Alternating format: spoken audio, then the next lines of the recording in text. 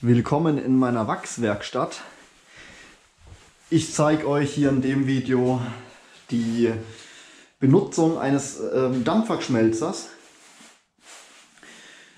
Dass der Raum natürlich dementsprechend verkleidet sein sollte, eine Lüftung äh, hat und auch ein Licht, das sollte klar sein. Wir haben hier so eine Schlacke aus dem Schwimmbad genommen, die macht es komplett wasserdicht und wenn ich hier die Tür zumache, dann habe ich hier ja auch meine kleine Privatsauna. Naja, der Türgriff sollte noch repariert werden, aber der Rest funktioniert. Wichtig ist halt für so einen Raum, ähm, ja, schimmeln darf er nicht. Er soll immer trocken sein und deswegen habe ich mir natürlich auch einen Hygrometer hingesetzt mit Temperaturanzeige. Natürlich wird sie immer sehr warm und äh, durch das Wort schon Dampfwachsschmelzer entsteht ja doch auch sehr viel Wasserdampf und deswegen finde ich immer ganz gut, wenn man Lüftung hat, plus nochmal ein Außenfenster, wo dann alles rausgeht. Ich habe hier nicht den Strombetrieb, ich habe den äh, Gasbetrieb. Einfach deswegen, weil ich mit dem Gas doch einen Tacken unabhängiger bleibe und äh, ich das auch tatsächlich einfach so besser finde. Wenn es jetzt rein um die Rechnung geht, kann ich nicht mehr behaupten, dass der Stromdampfwachsschmelzer ähm, teurer ist. Ich denke, es kommt von der Benutzung, also von den Kosten her auch selber raus. Ihr habt jetzt gesehen, ich habe jetzt den Feuerring unten angezündet. Und äh, das Feuer macht jetzt den Wasserkessel in der Mitte heiß, bringt das Wasser zum Kochen. Deswegen habe ich hier ja auch meine Gießkannen mit dem Wasser. Das werde ich jetzt hier erstmal vollfüllen. Wenn das Wasser kocht, dann geht es durch eine kleine, durch einen Kanal nach oben in den Innenraum des Dampfwachsschmelzers. Und hier im Innenraum seht ihr da unten dieses Lochblech. Das heißt, der Dampf, der hier aus dem Rohr kommt, der füllt unten die gesamte Wanne aus, geht durchs Lochblech nach oben und heißer Wasserdampf plus Druck lässt eben Bienenwachs schmelzen. Ihr seht, ich habe da schon Blöcke drin. Das ist alles eine Charge. So ein Block, das ist so wenig Bienenwachs, das will ich nicht einlagern. Ich brauche die großen Blöcke, die sind reinlicher und besser zum Händeln, auch was den Schmutz angeht, der abgeschabt werden sollte. Seht ihr, auf der Unterseite ist immer alles sehr dreckig. Das geht nochmal in den Prozess von vornherein. Je kleiner der Wachsklumpen ist, desto mehr Arbeit. Deswegen alles eine Charge kommt nochmal rein. Das ist die Charge vom Altwachs. Deswegen stehen hier auch noch die Rähmchen drin. Und auch hier gleich in diesem Video kann man gleich noch sagen, sowas hier wird auf jeden Fall mal ausgeschmolzen. Altware plus eben Zuckerwasser drin, wo nicht ganz verdeckelt ist. Hier genau dasselbe. Ist zwar eine schöne gelbe Wabe, aber überhaupt nicht verdeckelt, deswegen fliegt die raus und wird ausgeschmolzen. Altwachs deswegen, weil hier kommt jede Wabe rein, die bereits mit meinem Frischwachs eine Wachsplatte bekommen hat. Das sind für gewöhnlich diese Rähmchensysteme hier, wo eine horizontale Drahtung haben. Die haben eine Wachsplatte, zwar aus meinem eigenen Bienenwachs, da das Bienenwachs jedoch schon einmal im Kreislauf drin war. Also sprich, hier Frischwachs wird ausgeschmolzen, daraus mache ich Mittelwände. Die Mittelwände landen hier in den Rähmchen drin. Die Rähmchen gehen eine Saison mit, Maximum zwei Saisons, wenn sie dann schön gelb und ohne Risse geblieben sind. Aber auch dann werden die alle eingeschmolzen und das ist Altwachs, mit dem werden Kerzen produziert und landet nicht mehr im direkten Kreislauf der Bienenhaltung drin.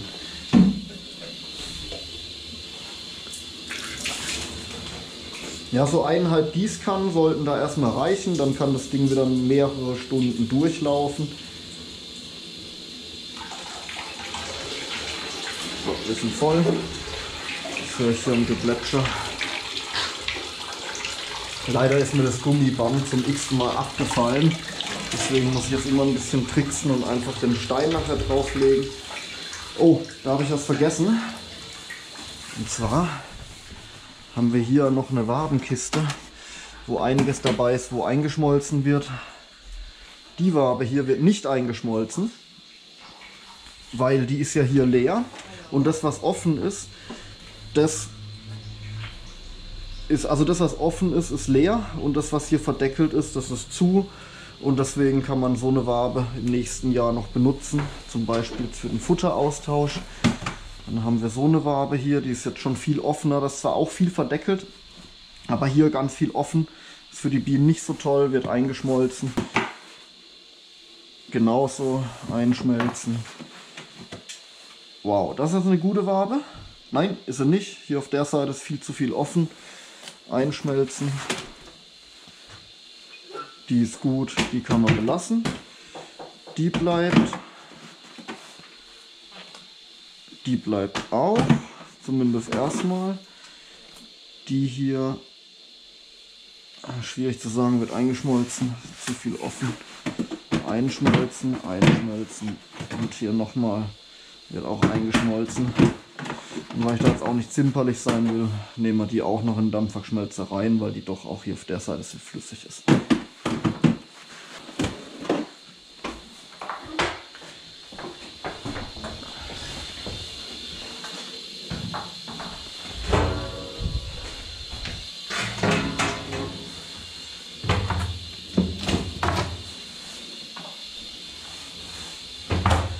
Also ihr seht, alles was ich nicht mehr einlagern tue, wird rigoros ausgeschmolzen.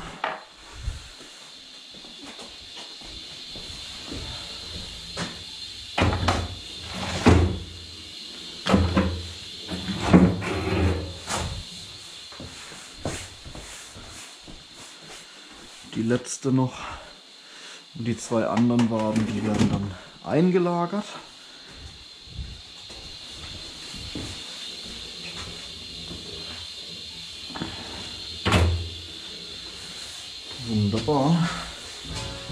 Deckel drauf. Stein drauf. Anstatt Gummiband hat den Stein.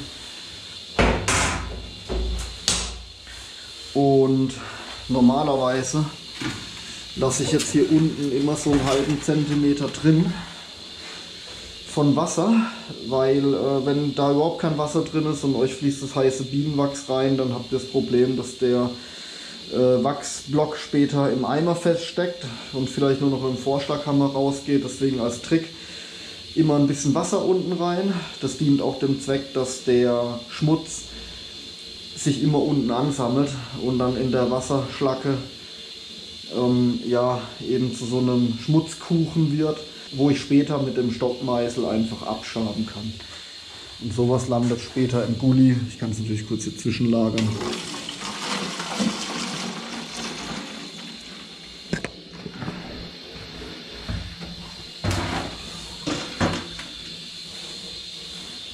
Das dauert jetzt so circa 20, 30 Minuten und dann dürfte da schon die Hälfte von der Riesenladung, ich habe ja auch die Blöcke noch reingeschmissen, schon durch sein. Ich sollte hier ab den nächsten 15 Minuten, alle zwei, drei Minuten hier in den Raum mal kurz reingucken. Habe es schon ein paar Mal gehabt, dass dann die Eimer überlaufen. Deswegen gilt hier die Regel, lieber öfters gucken und der Eimer läuft nicht über. Was vielleicht noch so, so, so eine tricky Sache ist in der Imkerei, also mein Ziel ist immer, dass der Eimer mit dem Bienenwachs einfach so voll wird, wie es einfach nur geht.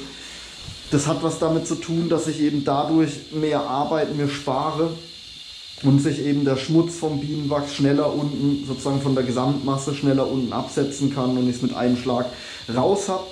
Äh, die arbeite ich natürlich vervierfacht, wenn ich das alles manuell kratzen würde mit vielen kleinen Blöcken.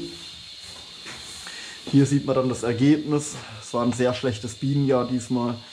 Die unteren drei Reihen, das ist das Frischwachs, sozusagen was die Biene wirklich ganz neu gemacht hat.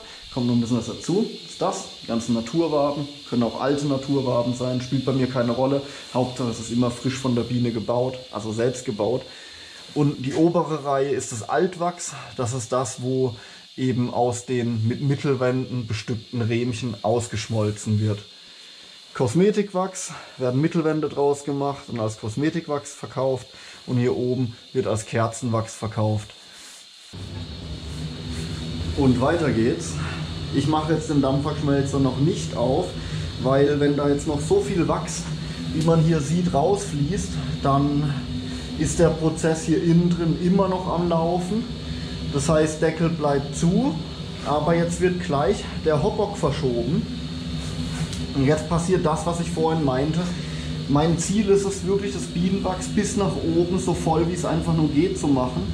Das ist einfach effizienter.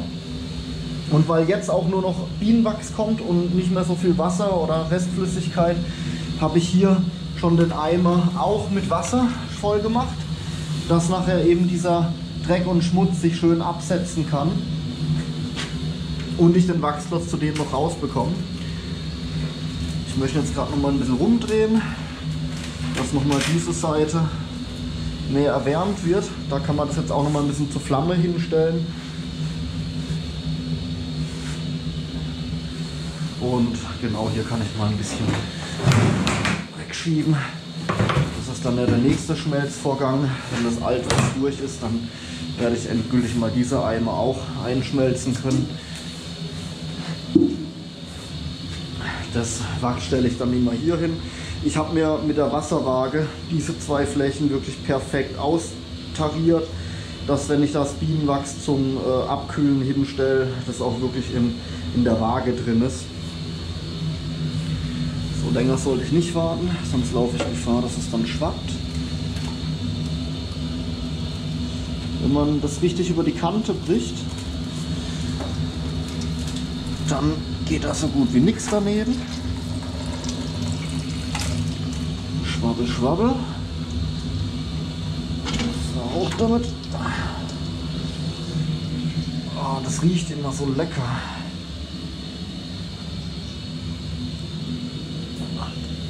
Dann stellen wir gleich mal hier zweite Position. Ui. Und nachher darf ich nicht vergessen, da ein A drauf zu schreiben wenn es äh, fest wird für Altwachs. Gut, da ist jetzt doch was daneben gegangen. Alles nicht schlimm, weil für so Sachen habe ich ja immer einen Stockmeißel parat. Das in dem Becher wird jetzt auch so heiß, dass die kleinen Wachsschnipsel da drin, die werden da alle wieder geschmolzen.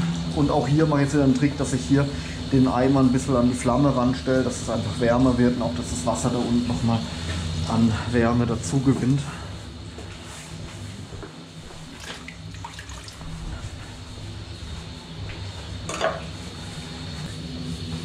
Mit dem Altwachs sind wir hier fertig.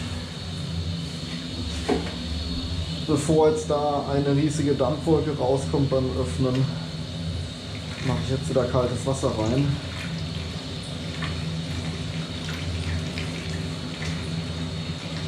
Sonst habe ich Angst, dass die Kamera innerhalb von einer Sekunde schon Wassertropfen zu ist.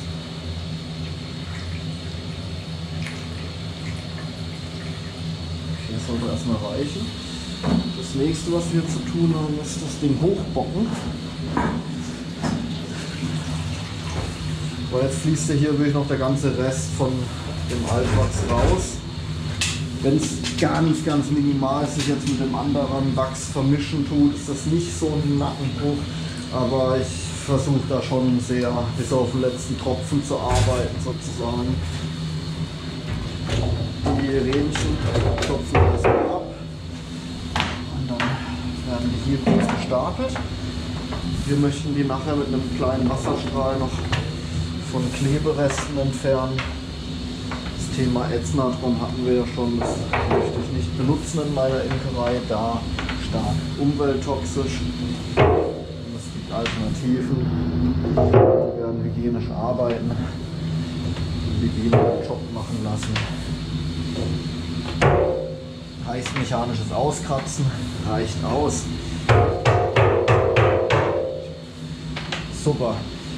Das war's schon. Ich mache noch mal die Kamera sauber. Wie gesagt, ich sehe es ja gerade nicht, ob es zu ist. Achtung, Scheibenwischer kommt.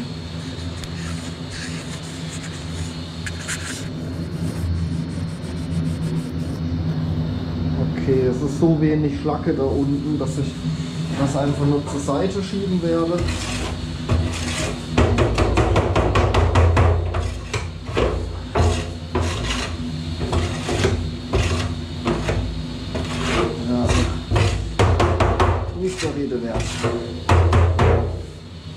Und später kommt dann noch viel mehr Schlacke. Den Stein machen wir wieder raus. Gucken, ob das Ding wieder gerade sitzt. Jawohl. Und jetzt kann mein ganzes Naturwabenwerk auch noch zusätzlich ausgeschmolzen werden.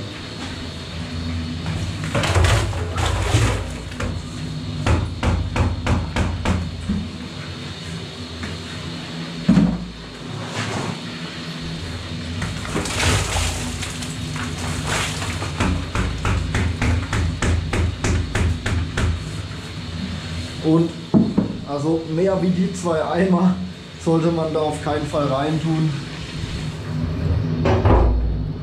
Stein wieder drauf. Wir brauchen etwas Wasser im nächsten Eimer. Nehmen wir das da hier, ja, ein bisschen mehr. Jawohl. Und dann können wir hier Eimer noch mal tauschen und uns dann auf den nächsten Wachsschmelztopf freuen.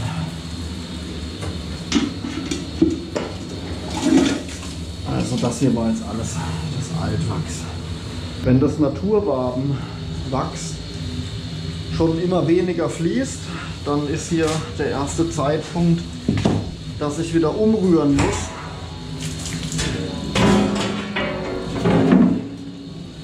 glaube, wir brauchen wieder einen Scheibenwischer. Also hier, hei, hei, hei. da raucht es jetzt ordentlich raus.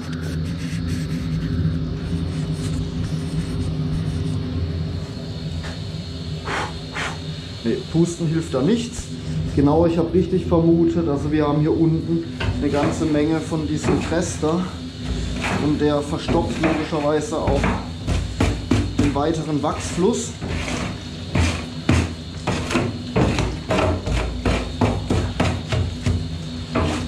An der Stelle noch gar nicht so viel und ich habe ja noch hier eineinhalb Eimer frei.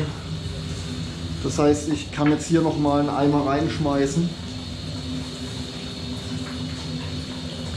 Mehr darf es dann aber für heute nicht werden, weil dann wird es knapp mit den verbliebenen Eimern. Die sind ja schon voll mit Altwachs. Also den kann ich noch reinbringen und dann ist es fertig.